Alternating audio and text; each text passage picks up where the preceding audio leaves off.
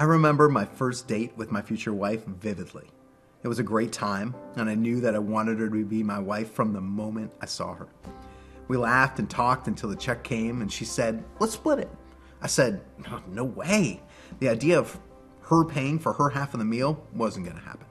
This had nothing to do with my ego or pride. I simply wanted to show her how special she was. She was worth that check and all the bills from every date that followed, and she still is.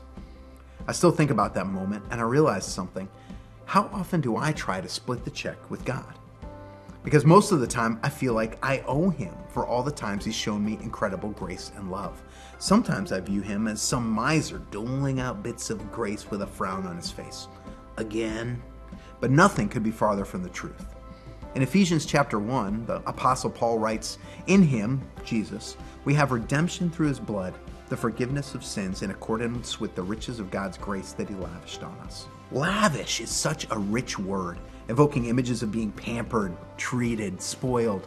The cross reminds us of our brokenness and our need for a Savior, yet it also proclaims God's amazing love for us.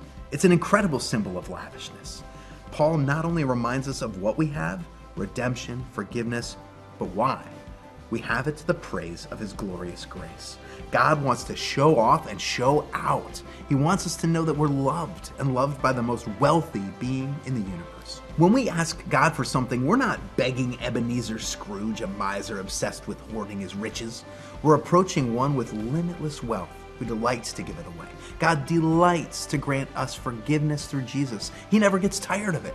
When we bring our requests to Him, He's thrilled. He never runs out of anything love, provision, mercy. The more we need God, the more He gets to prove how rich He is. Right now, at this moment, God is lavishing on you Christian mercy and grace. You can order anything on the menu. God's got more than enough to pay the tab. Whatever you need, ask Him for it.